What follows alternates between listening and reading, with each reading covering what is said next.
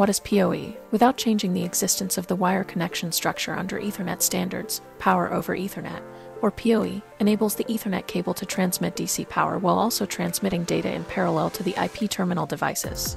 In 1999, both the IEEE and the Ethernet Alliance started working to standardize PoE to ensure interoperability across a broader range of connected powered devices, or PDs, and power sourcing equipment, or PSE. The first of these standards, IEEE 802.3AF, was ratified in 2003 and specified that the power must be able to be carried by either spare pairs or data pairs. Now, it has evolved into IEEE 802.3BT for 90 watts, and it covers more and more applications, such as 5G small cells, display units, and AP routers. PoE power delivery includes two equipment types power sourcing equipment or a power provider, and powered devices or power receivers. MPS has both PSE controllers and PD controllers.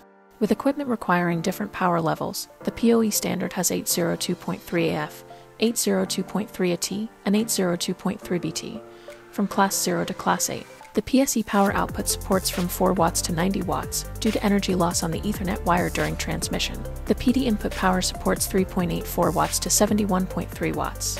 What's the PoE structure? The PSE takes the power from an adapter, then sends it to the PD. The power and signal are transmitted through the Ethernet cable at the same time. Normally, the cable is a twisted pair. A rectifier circuit is necessary to adjust the voltage polarity before it goes into the PD device. After the PSE power is classified, the PD sends the same amount of power, as defined by the PoE standard, to the following circuit. Normally, an isolated DC to DC converter converts the 48 volts to a lower voltage for other circuits usage. So how does PoE work between the PSE and PD? First, there is a PD check. The PSE sends test voltage of less than 10.1 volts to the PD resistor, which is 24.9 kiloohms. If the impedance matches, this confirms that it's a standard PoE device. Next is the power classification. After the PD is detected, the PSE sends power to the PD and gets current feedback to confirm the power level, from class 1 to class 8. Then the power is turned on. The power gradually increases to 54 volts, typical. Lastly, it is stabilized and monitored. The voltage is stabilized at 54 volts, and the max power is limited based on the classification results.